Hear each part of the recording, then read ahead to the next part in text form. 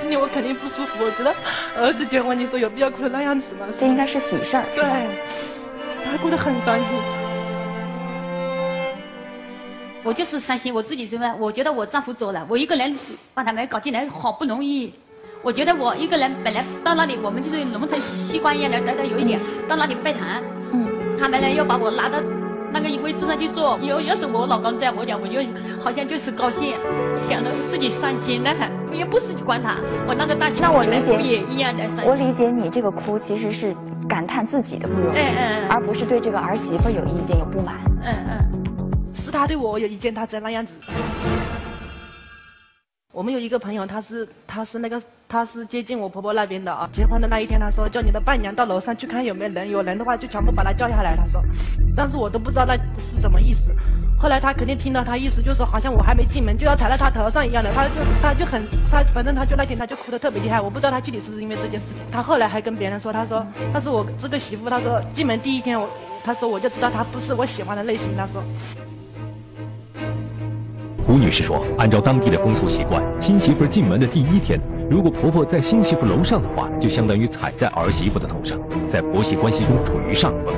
因为自己伴娘的一句话传到了婆婆耳中，婆婆觉得权威被挑战了，故意让自己难堪才哭，根本就不是感怀往事。那么，婆婆的哭究竟是不是如儿媳妇所说呢？”她现在想的想的这些话，我根本都不知道。就是讲我儿子呢，就跟我说这句话，他讲他他们那边说叫你不能到楼上。我讲我干嘛要到楼上？我大媳妇我也没到楼上去啊！我要到楼上去干嘛呢？你知不知道儿媳妇不高兴了？我不知道，我从来他这次他今天说起来我不知道，我一直到现在不知道。他那时候也没有问过是怎么回事？没问过，也没说过。胡女士不了解当地独特的婚俗，只觉得自己一进婆家就吃了哑巴亏，而且婆婆看起来老实，其实收拾人从来不露痕迹。进门第一天，婆婆就哭，而这才是个开始。胡女士很快发现，在治理儿媳妇方面，婆婆有绝招。正月十八结婚的人，正月还没过，我婆婆就一个人坐在那个客厅里哭啊，哭得很伤心的。我又开始哭。对，我莫名其妙的，我不知道她干嘛哭，但是我也就没去问她。我叫我老公，我说你去问下你妈妈干嘛哭。你知道她怎么说？她说，她说家里面没有一个人把她当人，把她当牛做马。她意思是就是我们不做家务。从他哭那一天以后，哭那天以后，我从第二天我就跟我嫂子就说轮流，就是说就自己做饭吃。他带一个小孩，我怀着孕，我们就自己轮流做着饭吃。说实话，我心里确实不舒服。我是怀着孕到你家里面来的，你说我才嫁过来几天，你这也就就这样子啊？我当时也是特殊情况，我怀孕是不是？我觉得我没有这回事。他讲正月，我好像那他结婚之后好像没哭。没就我也没这样子想，他没不做事啊什么，我好像没有，我觉得对他来不好的。他心里已经第二次不满的时候，你还根本不知道发生什么。嗯，我不知道，他这两回讲这两两件事，我都不知道他不高兴。婆婆对于一哭二哭的解释，我们似乎都能理解。可当初的场景，显然在新婚不久的胡女士心头抹上了重重的阴影，也间接成为导致日后婆媳关系紧张的导火索。不过，让大家感到不解的是，如此之小的事情，为什么儿媳妇放在心上这么久？难道真如儿媳妇所说，明明是自己受了委屈，可一哭二闹三上吊的确实是婆婆？胡女士说，真相就真实情况，我们把休息室里正在带孩子的王先生请上了场。一边是妈妈，一边是妻子，他的出现会让调解发生怎样的转变呢？这个家里的经济压力确实是很大，是吗？对。但是好像你妈妈承担了很多，对，为什么会让她承担这么多呢？因为我之前一个月的工资也不是很高，然后又有两个小孩，小孩子无论什么都需要花钱。就说靠你们夫妻两个人是真的能力还不够是吗？因为有小孩需要带，嗯，他也没办法去上班，然后家里面就是我一个月那时候工资是两千，七七八八总需要花钱的，这钱肯定不会够用。妈妈必须得来帮助你们才行。只有在他的帮忙下才那个嘛？我可以理解，妈妈肯定也是非常愿意来做这件事情，对吧？对。但是就是刚才你也听到了，他们婆媳二人在于，比如说这个经济问题上，呃，产导致的婆媳问题，甚至你们夫妻的问题，你怎么看呢？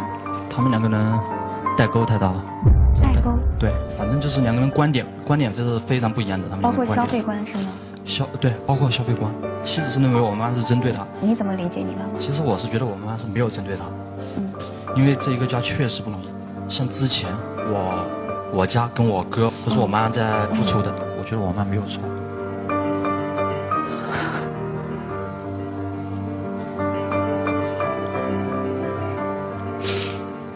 你知道吗？我怀孕六七个月的时候，我跟他吵架，我站在那个站在那个沙发旁边啊，他一下子给我推的推的好远，你知道吧？我生了之后呢，还没有半个月的时候又在吵，吵了他就他就骂骂我，他叫我滚回娘家去。他说他说你不要在这里待了，你滚回家。他什么都在为他妈考虑，从来没有站在我的角度替我想一想。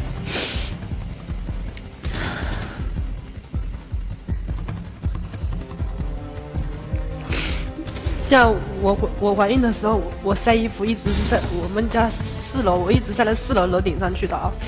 你像像他他嫂子之前怀孕，他哥哥就会不不停的嘱咐他妈妈说，哎，他他老婆怀孕了辛苦了，就不要晒得那么那么高了，就说晒在下面嘛，在下面搭个搭个地方晒在下面。但是我我这个人我就是这样子，有什么苦我从来也不说出来，不干嘛，我就一直坚持着，拿两桶衣服跑到四楼，真的很很辛苦，真的气都喘不过来，很多时候。我觉得我老公从来没有替我想过，这一点我婆婆她她也没有想过。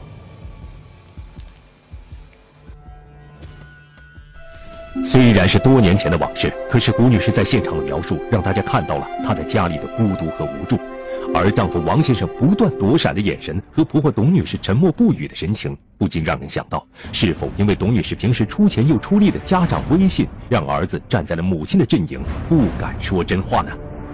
为了再次证明，我们把在休息室里的大儿媳白女士请到现场。这位在胡女士眼中备受婆婆青睐的大儿媳会如何评价弟媳妇和婆婆之间的问题？她的出现会不会进一步激化婆媳之间的矛盾？白女士带来了一个长时间的沉默。